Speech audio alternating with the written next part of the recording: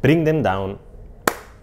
crítica de cine. Dirigido por Christopher Andrews, este es el filme debut del director que tuvo su estreno en TIFF hace una semana, donde tuve la oportunidad de verla. Esta película está siendo distribuida por Movie, así que pueden esperar una distribución de parte de ellos en algún momento de este año. Y en este filme, Michael y su padre, interpretados por Christopher Abbott y Colmeny, son los últimos miembros de una familia de pastores, quienes entraron en conflicto con una familia vecina luego de la supuesta muerte de dos corderos. Esto levantará un conflicto que escalando fuera de control, especialmente a través del hijo de esta última familia, interpretado por Barry Keoghan. El suspenso como género es genial porque implica necesariamente que uno como espectador tiene que estar enganchado de lo que está viendo. Y este filme se beneficia bastante de conflictos que van escalando fuera de control. Al inicio la tensión no pareciera ameritar demasiada discusión, pero la falta de comunicación hace que esto se eleve y eleve en capas de violencia hacia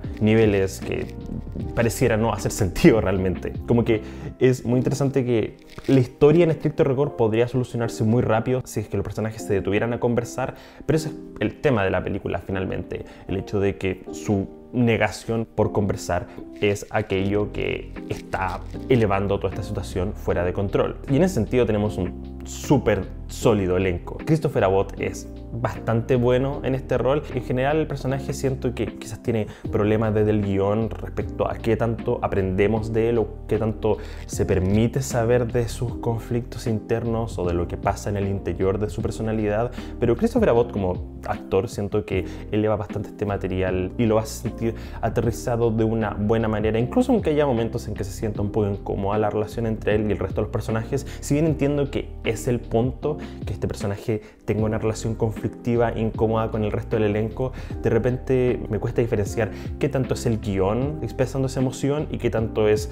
Christopher Abbott como actor no teniendo química con el resto de los personajes. Sin embargo, el highlight definitivo acá es Barry Keoghan, quien es de hecho excelente. Y sé que eso no es una sorpresa porque Barry Keoghan lleva ya una muy sólida racha de grandes roles, incluso en películas que no me han gustado para nada, como Salborn. Barry Keoghan se las arregla para hacer la cosa más carismática dentro de la película y acá creo que él sostiene este filme, porque si bien no es el protagonista puro, es decir, si bien diría que él comparte protagonismo con Christopher Abbott, la película parte desde el punto de vista de Christopher Abbott. Entonces, una vez empezamos a entender más el personaje de Barry Keoghan, siento que la película se va volviendo más y más interesante. Como que entender estos dos puntos de vista siento que es la clave para disfrutar y estar enganchado por este filme. Y es que en medio de la película ocurre, como dije, un cambio de punto de vista y siento que tener estos dos lados de la historia es quizás toda la base del filme. Como que la película siento que no existiría de la misma forma si es que no tuviéramos estos dos puntos de vista paralelos luchando el uno contra el otro, contradiciendo las visiones que vamos armando en distintas perspectivas. Me recuerda un poco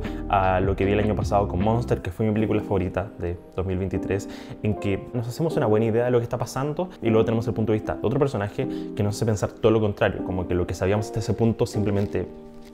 era mentira. Y el filme intenta comentar sobre los traumas familiares internos y lo complicado que es intentar canalizar tus emociones en un mundo que te pide ser rudo, como que tenemos muchas instancias en que los personajes intentan presentar un poco más de vulnerabilidad solo para ser abofeteados en la cara, principalmente con el personaje de Barry Keoghan, quien eh, enfrenta muchos conflictos internos en su hogar y el momento en que intenta expresar un poquito de emoción o abrirse al mundo, tenemos una cacheta en su cara que no le permite decir nada. Y habla bastante sobre cómo la masculinidad tóxica y en general en la rudeza eh, nos evita de sentir reales emociones y de sentirnos completos en este mundo. Y la dirección en ese sentido es muy sólida. Me entusiasma que este sea el debut de este director porque significa que tenemos todo un mundo aún por recorrer sobre su lente en cámara y si bien la película toma prestado de muchas partes, especialmente en la fotografía y siento que es inevitable no armar ciertos paralelismos con otras películas irlandesas,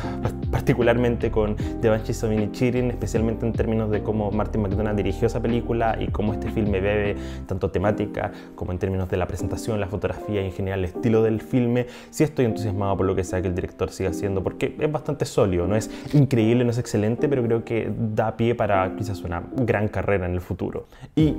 es, raro decir esto, pero creo que mi cosa menos favorita por lejos de la película es la escena inicial y siento que el tipo de cosas que me causaron tanto resquezor cuando la vi que pudo haber afectado todo mi disfrute de la película de ahí en adelante. Como que yo tenía una cierta sensación de lo que iba a hacer y la escena inicial como que me dejó inmediatamente con un mal sabor de boca, básicamente porque siento que es un poco ridícula, un poco exagerada de una forma que el resto de la película no intenta hacer. El resto de la película es un drama muy tenso, muy serio y la primera secuencia tiene como este montaje súper incómodo que realmente te, hace sentir como que el filme va a ser completamente distinto, como que tiene este, montaje en que te hace sentir como que va a ocurrir algo tremendo y una vez ocurre la cosa que ocurre es muy intensa, pero no se presenta de forma tan intensa. Se siente como algo que agregaron después que la película estaba lista, como que el filme iba a ser de otra forma y decidieron cambiar este escena inicial para presentar el, el backstory del personaje principal de una forma distinta y siento que me arruinó mucho de cómo enfrentar el filme. Porque es el final sí encuentro que es bastante sólido, bastante decente, pero como que partimos con un tal mal sabor de boca que fue difícil levantarse desde ese punto, especialmente sobre mi empatía con el protagonista. El filme sí captura la caótica, oscura belleza del campo, especialmente en el contexto de Irlanda, donde está ambientada la película. Y si bien, como dije, me recuerda mucho a Banshees of en términos de la fotografía, eh, si vas a tomar prestado, al menos que sea de los mejores, esa película tiene increíble cinematografía, así que qué bueno que al menos esté tomando influencia de un sólido filme. Y al mismo tiempo la conclusión es un poco débil, más que todo porque el protagonista hace cosas que tú sientes que van a tener muy graves consecuencias. En particular hay una decisión que el filme toma sobre el protagonista em, atacando a alguien que tú piensas que va a tener un gran impacto en la conclusión y no es tan importante como que una vez el filme termina y tenemos una especie de resolución a los conflictos, tú esperas que vaya a haber habido algún tipo de consecuencia por el hecho de que el protagonista hizo eso y no, porque nunca, no volvemos a hablar de eso, así que solo se puede implicar que, no sé, em, el protagonista simplemente enfrentó una consecuencia después de la película, entonces se siente como shock por shock, como querer hacer todo un poquito más grave de lo que realmente necesita, porque lo que más me gusta de la película es cómo los conflictos van escalando y cómo de repente cosas que a veces pueden parecer intrascendentes terminan volviéndose muy graves, entonces llegar al punto en que el personaje termina haciendo algo así y no recibir una consecuencia por eso hace que la conclusión misma se sienta un poco débil porque se siente como algo resolutivo cuando tú sabes que está todo menos resuelto. Sí me gusta cómo el filme va entregando información, como que nosotros como espectadores de repente nos enteramos de cosas que los personajes también van entendiendo y tenemos información adelantada que luego se va revelando y ayuda a conectar ciertas cosas que es fundamental para cómo eh, uno va entregando hacia el final. Christopher Abbott en un momento se entera de quién hizo algo malo durante la película porque una herramienta que fue usada tiene conexión directa con otro personaje. No voy a spoilearles qué es, pero cuando lo vean sabrán exactamente a qué escena me refiero. Y lo que me encanta es que realmente eh, la película nunca se detiene a decirte en tu cara lo que acaba de pasar, simplemente entiende que tú como espectador vas a ser capaz de sumar uno más uno y entender, ah, el personaje ahora sabe quién es el que hizo todo lo malo. Y es muy interesante porque habiendo visto esta película en el contexto de un festival, eh, es muy divertido ver este tipo de cosas y ver una reacción tan profunda de la gente como de uh. También otra cosa que me gustó mucho es toda la caracterización que tiene que ver con en general locaciones, dirección de arte, ropas, maquillaje. Hace poco reseñé Alien Romulus y en esa película me quejé de que el maquillaje no hacía sentir que los personajes estuvieran viviendo en la época que se suponía que estaban viviendo en términos de como el cansancio y el desmedro físico, pero en esta película tú de verdad sientes que estos tipos son pastores en el campo, que realmente han tenido una vida súper dura en términos de la fisicalidad que tienen que hacer. Me gustó mucho el maquillaje en ese sentido. Sin embargo, del mismo lado del maquillaje, hay un personaje, una protagonista en la película, que se nos insiste en varias partes que es deforme, como que se habla de su cara como que es fucked up. Y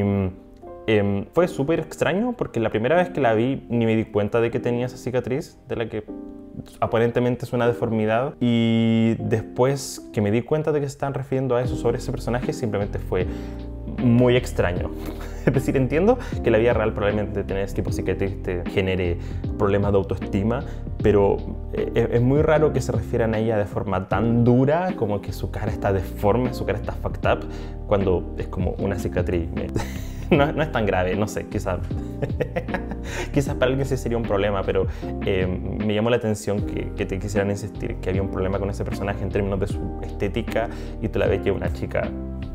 atractiva sin ningún problema. Y supongo que si tuviera que, definir mis mayores limitaciones, es que no siento que el guion no tenga algo realmente importante que decir. Esta es una muy tensa, muy entretenida, muy divertida película y recomendaría a cualquier persona que la viera simplemente porque es el tipo de filme en el que va a estar enganchado desde el primer acto hasta el final y particularmente con el cambio de puntos de vista creo que vas a conseguir algo que sea fascinante de masticar, un, un drama bastante sólido, pero diría que cuando pienso en términos de como traumas, en siglos de violencia, el filme no es tan interesante como quizás otras películas que hayan tocado temas similares. Siento que su punto más fuerte es realmente hablar sobre la toxicidad de intentar expresar tus emociones y tener un mundo que realmente no está dispuesto a escucharte, pero tampoco diría que ese es como el tema central, es decir, es uno de los temas que el film intenta explorar, pero no es, a mi parecer,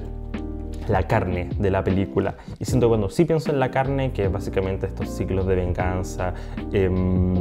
sí es quizás un poco superficial. Em, dicho eso, quiero ser súper claro y reiterativo. Esta es una película muy entretenida, muy divertida, muy tensa y es un genial debut. Voy a estar muy atento a lo que el director sigue haciendo y considerando que esta película va a ser distribuida por Movie, asumiría que va a llegar a cines en algún momento y si no, eventualmente va a llegar a streaming. Pero si pueden verla en cines, vean en cines porque creo que es una película muy divertida de ver en una butaca. Bring Them Down es un sólido 6 de 10. Dígame, ¿están anticipando esta película? Eh, si se darán cuenta, estoy en un lugar distinto donde tiendo a hacer la mayoría de mis reseñas y es porque todavía estoy de viaje en el momento de hacer este video